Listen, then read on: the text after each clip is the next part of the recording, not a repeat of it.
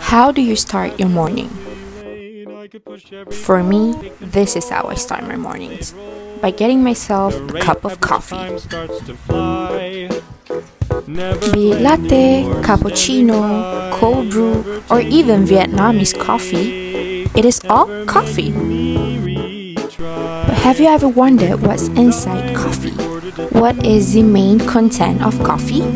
You got it, it's caffeine. Caffeine is a naturally occurring molecule, aka trimethylxanthine, in which it acts as a natural pesticide and protect the plant.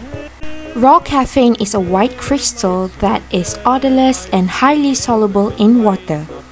Caffeine also stimulates the heart and acts like diuretic, in which diuretic increases urine production, basically means flushing fluid out of our body.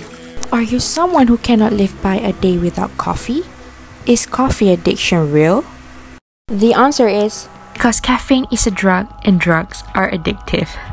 Come on, let's go deeper. When caffeine enters the body, it moves to the nerve cell.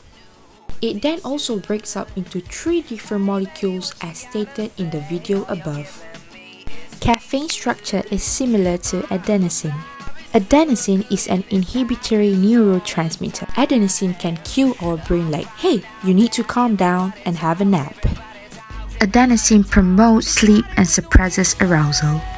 Typically, when you drink caffeine, it will be ingested in your cell and bind to the adenosine receptor instead of adenosine. Caffeine will then block the adenosine from entering the receptor because receptor cannot identify adenosine. As a result, caffeine will then take the job of adenosine and speed up the cell activity. Caffeine increases the activity in neurotransmitter like dopamine. This three breakdown of caffeine will promote the state of wakefulness. How? Theobromine increases the flow of oxygen and supply nutrients to the brain. As for paraxanthine, it increases the athletic performance. And lastly, for theophylline, it, it increases the heart rate and the ability to concentrate.